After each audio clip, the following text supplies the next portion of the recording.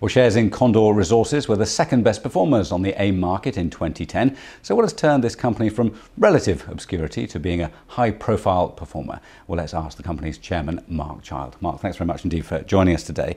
Um, this all seems to have started back in September when you bought the La India gold project in Nicaragua from the Canadian listed B2 Gold and had a long history of Soviet exploration. Yeah, yes, that's correct. Um, it was in fact a concession swap um, Condor was uh, lucky to be granted the Siracuayos concession, which is an extension of about 20 square kilometres of B2 Gold's concession. And they just built, uh, spent $75 million building a new mine. Um, and they were quite keen to get it. Um, instead of selling it to them for cash, uh, I said, well, you have another concession the other end of the country, which the Soviets had drilled out. Um, how about swapping that? And so we negotiated a concession swap. And that's how we got the asset. And what did you know was already there?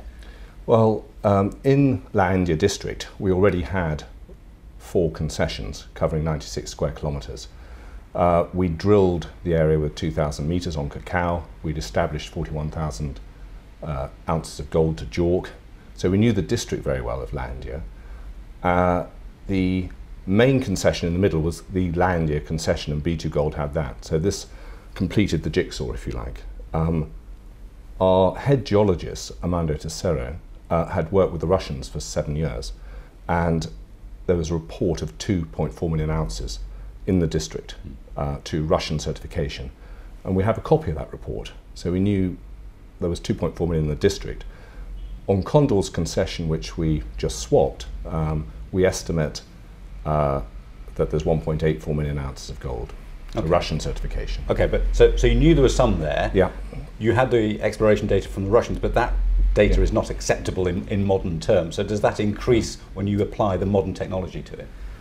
Um, it gets slightly better than that. Um, the, uh, we've just announced on the 4th of January a resource to JORC code. Uh, we engaged SRK Consulting, and their brief was to uh, consolidate all historic exploration. So on La India, there was a historic mine uh, ran in the 50s by Noranda of Canada, and that produced 570,000 ounces of gold at uh, 13.4 grams. That was in the 50s. Then the Russians came along and drilled it out in the uh, late 80s for five, six years. Um, and then a few Canadians went over it. So the consolidation was of uh, four different people who'd been over this district uh, so the resource that we have um, consolidates not just the Russians, but the uh, original mine production in the 50s and some post-Russian work that had actually happened. And that process is still ongoing. So, so what's the, the next piece of news, if you like, that will, will sum it all up so you know exactly what you've got and, and then set yourself, yourself some targets? Well, as you say, we only got this concession in September. we then engaged SRK and we went out and had a look at it uh, uh, in more detail. Um, the resource that came out uh, on the 4th of January was only calculated to 2D, which is a sort of a quicker methodology of doing it, and it included about 80% of the data. So we've said to the market that by the end of this quarter, end of the 31st of March, we will SRK will update that resource, so the market can look forward to an increase in the size.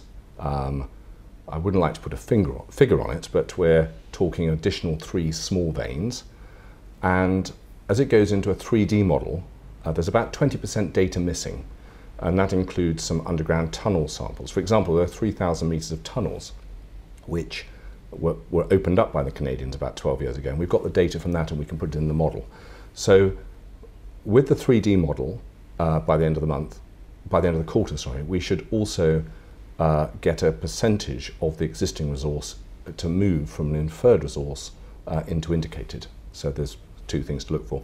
In addition to that, we've just started about 10 days ago a drill program. So we're now on drill hole four, as I speak, of a 5,000 meter drill program. And that is trying to increase the size. So as I said, we've got 1.84 million ounces to Russian, of which 710 is C1, C2, and the balance is P1. Uh, P1 is just a, there's no drilling on it. So I think the market has misunderstood that. Um, uh, it's only trenching defined by the Russians. So the question is, can we can we can we bring that the whole lot into JORC? And we'll only know that when we drill. Uh, and, and, very briefly, there's a possibility of buying a tenement within La India, which is currently owned by a local businessman. What, what would that add if you got hold of that? Do you think?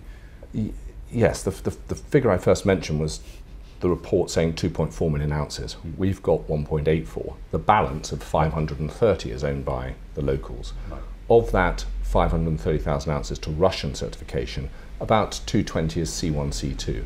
It's normally quite easy to bring C1, C2 into a JORC inferred. Right. Um, we'd love to get it um, without giving any secrets away, um, but they're very difficult to deal with. And we're, we're unsure whether we'll get it at this juncture. Okay. And plans for actual production, what sort of time frame should we, should we be looking at? Well, at the moment, the, the, the, the, aim of the company is to define as large a resource as we can on India. We've got 900,000 ounces in the district, 909 in the district to JORC, to Western standards. Um, that's actually only on uh, six veins. We've identified 18 veins, so there are another 12 that have no resource calculation on them. Now we've trenched, they've been trenched or we have trenched them. We've got to drill those. Um, we're unsure how big the system is at the moment. Um, we, the whole district is 164 square kilometres, so it is a very big district. It's produced gold. Uh, until we do further drilling and exploration, uh, we don't know whether this is 1 million, 2 or even greater. And so the first objective is to see how big it is. Right. Uh, and that, that, so I don't want to put, in terms of production, we're really an exploration company right. trying to drill this out to bankable feasibility. And the question is how big that's going to be. Okay. A quick word about El, El Salvador. There's a moratorium. You own some prospects there. Yes. Any, any news on that, very briefly? Uh, yes, the Tau Group of Spain, the government engaged them last about six months ago uh, to do a strategic environmental study on the benefits of mining to the Republic of El Salvador. Uh, over the last um, six uh, weeks, eight weeks, we've met a number of ministers. Uh, we've met the Tau Group. Um, uh, they're engaging us. They want, and, and we're expecting the report now to be out in May, and this should make recommendations to the government on how to do mining in a safe, secure, environmental friendly way.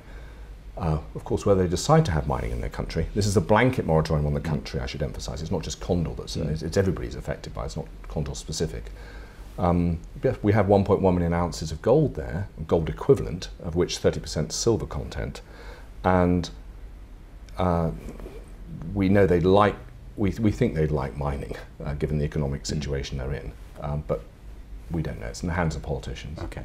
A quick word on that, the cash situation. I understand the current plans are all accounted for, but yes. how long does that last uh, before you need to, to raise some more, for example? Uh, we, at the end of December, we had circa a million pounds in cash. We have some warrants outstanding that'll bring in 420,000.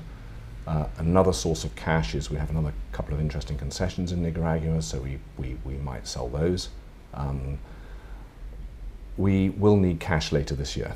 Right. Uh, the current 5,000 metre drill program is totally self-funded, uh, but we will need cash at some juncture later okay. in the year. Uh, and a final comment on the share price. It went from less than a penny, as I mentioned, uh, up to about 11, and now yes. back just on around 6. What yes. do you think would be, be fair value? What, what's the message to investors there? I'd like investors to take a, a, a medium to longer term view, um, which is uh, given the amount of historic information on this, given the prospect of having quite a large commercial res resource reserve, uh, whether it's 1 million or 2 million, it's maybe more, uh, is to um, back the company for that. If we get to bankable feasibility, people can see that they're going for between 150 to 250 US dollars per ounce uh, in the ground, and sometimes considerably more. Um, and that would put a very exciting valuation on Condor. Okay, we'll leave it there. Mark Charles, thanks very much indeed for joining us today.